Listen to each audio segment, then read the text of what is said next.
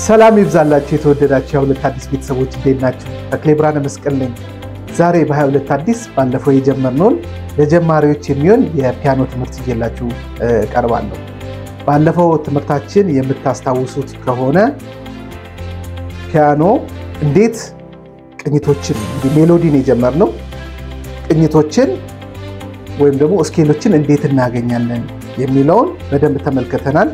በኪቦርዳችን ላይ ያሉ 12 የተለያዩ ድምፆች እንዳሉ እነዛ ደግሞ 12 ድምፆች octave እንደሚባሉ በኪቦርዳችን ላይ አሁን ለምሳሌ በዚህ keyboard ላይ አምስት octave እንደሆነ 61 የተለያዩ ድምፆች አሉት፣ ግን 12ቱ ብቻ የተለያዩ እንደሆኑ ሌሎቹ የተደገሙ እንደሆኑ ተመልክተናል። ከዛም ደግሞ በፎርሙላ መሰረት የ diatonic major scale ን አውጥተናል። ከ diatonic major scale ውስጥ ደግሞ አራተኛውን እና ሰባተኛውን ቀንሰን pentatonic scale አግኝተናል። እንግዲህ ከዚህ በኋላ ደግሞ ቅኝቶች አሉ። እኛ ሀገር ቅኝት የምንላቸው የተለያዩ ቅኝቶች አሉ። ትዝታ major አለ፣ ትዝታ minor አለ፣ አምባሰል አለ፣ ባቲ አለ፣ ባቲ major፣ ባቲ minor የሚባል አለ እና እነዚህን ነገሮች በዚህ ቪዲዮ በተወሰነ ደረጃ እንመለከታለን። ይህንን ስንመለከት ከ mode ጋር ቀላቅለን ነው። አብዛኛው ሰዎች mode ማለት ቅኝት ማለት ነው፣ ቅኝት ማለትስ mode ነው። እንደዚህ ሁለቱ ትንሽ የሚጋጩባቸው ሰዎች አሉ። እናንተ ስትጀምሩት ይሄ ነገር ብዙ እንዳይጋጭባችሁ ጥርት አድርገን እንመለከታለን ማለት ነው በዚህ ቪዲዮ። ቪዲዮውን እስከ መጨረሻ ድረስ ግን ተከታተሉት፣ ምክንያቱም ሀሳቡ እስከ መጨረሻ ድረስ ተያያዥነት ስላለው እስከ መጨረሻ ድረስ እንድትከታተሉ እጋብዛለሁ። አሁን ወደ ትምህርቱ ምን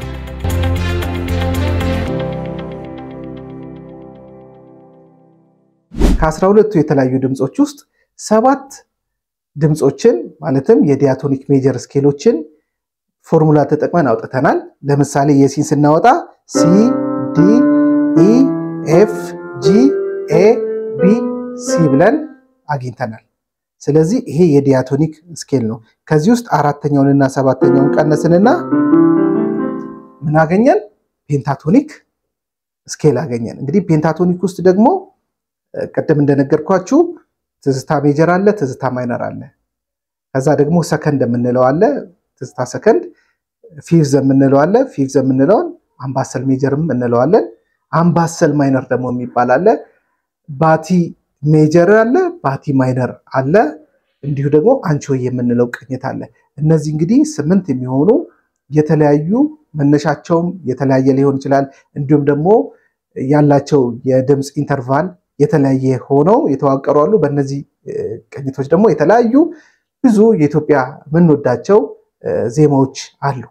ስለዚህ እነዛን ለመጫወት እነዚህን እንዴት እንደምናገኝ ማወቅ መቻል አለብን።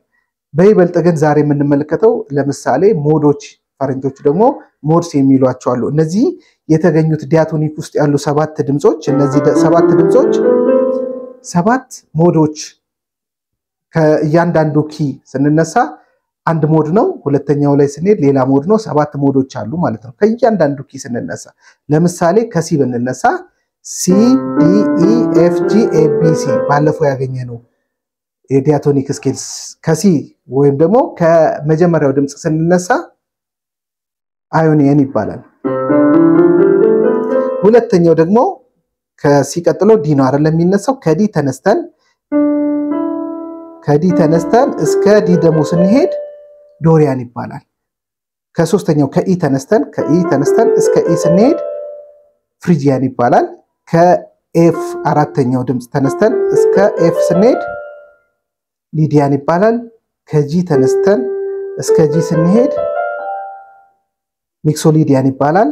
ከ A ተነስተን እስከ A ስንሄድ Aeolian ይባላል። ከ F ከ B ተነስተን እስከ B ስንሄድ Locrian ይባላል። እነዚህ ሰባት ሞዶች አሉ። እነዚህ ሰባት ሞዶች ለእኛ ቅኝቶች ማግኛ አድርገን ልንጠቀምባቸው እንችላለን። አንዳንድ ሰዎች ብዙ ጊዜ ስለሚጠቀሙ ግን እንደዛ ሙሉ ለሙሉ አያስኬድም። ለምሳሌ አንቺሆ የቅኝትን ብንወስደው sharp አለው ወይም flat ያስገባል። ሙሉ ነጮችን ብቻ ተጠቅመን አናገኘውም። ቢያንስ አንድ key እናገኛለን። ለምሳሌ የ B አንቺሆዬን ብንወስደው G sharp አለበት። የ C ን ብንወስደው C sharp እና F sharp አሉ። ሁለት ሻርፖች አሉ። ስለዚህ በቅድሙ በሄድንበት ሰባት ሞዶች sharp ያልቀላቀለው እዛ ውስጥ ስለማናገኝ ልንጠቀመው አንችልም። ስለዚህ በዚህኛው መንገድ ተጠቅመን flat ና sharp እያደረግን ማግኘት ይቻላል። የተዘጋ አይደለም መንገዱ። በዛ መንገድ ተጠቅመው ብዙዎች ቅኝቶችን የሚያገኙ አሉ። በዛ መንገድ የሚያስተምሩም ሰዎች አሉ። እሱ እንዳለ ሆኖ ለምሳሌ ያክል C second ን ለማግኘት ብንፈልግ ምንድን ነው የምናደርገው?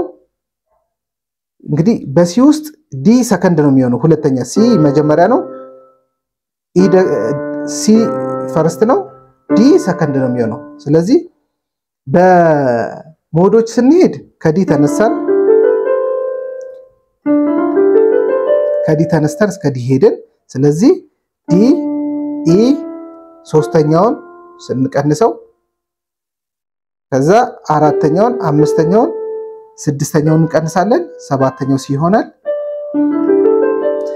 በ mode ሄደን ሶስተኛውን እና ስድስተኛውን ስንቀንስ ሰከንድ ብለን የምንለውን ቅኝት እናገኛለን። second ለ Dorian ኑ ለ Ionian አራትና ሰባት ቀንሰናል። ለሰከንድ ደግሞ ሶስትና ስድስትን እንቀንሳለን። ለ fifth ብንወስድ አንድ ሁለት ሶስትን እንቀንሳለን። አራት አምስት ስድስት ሰባትን እንቀንሳለን። ስለዚህ ሶስትና ሰባትን ስንቀንስ አገኘን። ለሲግዝ ደግሞ ቀላል ነው። አንድ ሁለተኛውን እንቀንሳለን። ሁለት ሶስት አራት አምስት ስድስተኛውን እንቀንሳለን። ሰባት ይኖራል። ሁለትና ስድስትን ስንቀንስ አሁን ደግሞ sixth ን ወይ ደግሞ ባቲ minor እናገኛለን ማለት ነው። በዚህ መንገድ መጠቀም ይቀለናል የምትሉ በዚህ መንገድ መሄድ ትችላላችሁ። ከዛ ውጭ ደግሞ no no no no ይሄ ያገኘነው። ለምሳሌ ሰከንድ ብለን ስንል ከ D ን የተነሳ ነው። ፊፍዝ ብለን ስንል ከጂን የተነሳ ነው። ሲግዝ ስንል ከኤን የተነሳ ነው። ከዛ ይልቅ ሁሉንም first ከ C እንደተነሳን second ንም ከ C መነሳት አለብን ካልን ግን ያ የ mode አካሄድ ምን ይሆናል ማለት ነው? አይጠቅመንም ማለት ነው። ምክንያቱም C second የሚሆነው በ B flat major ውስጥ ነው።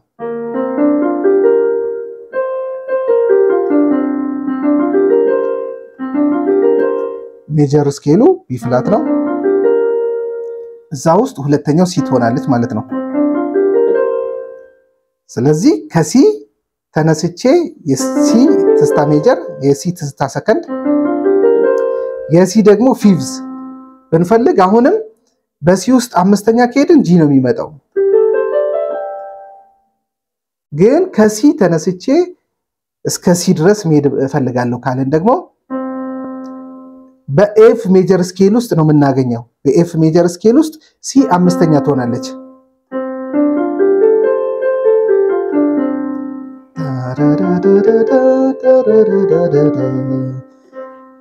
ለባቲ minor ወይ ደግሞ ለሲግዝም ከተጠቀምን ሲግዝ የምትሆነው ሲ በ E flat major scale ውስጥ ነው።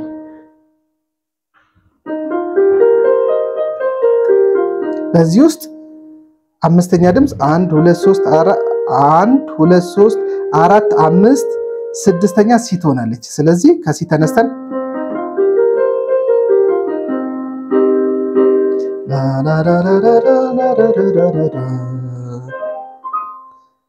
ስለዚህ በዚህ መሰረት አሁን mode ኡን ሳንጠቀም አገኘነው ማለት ነው። ስለዚህ በ mode ተጠቅማችሁ ቅድም እንዳልኳችሁ ማግኘት ትችላላችሁ። ከዛ ውጭ ደግሞ እንደዚሁ አሁን እንዳሳየኋችሁ ማግኘት ትችላላችሁ።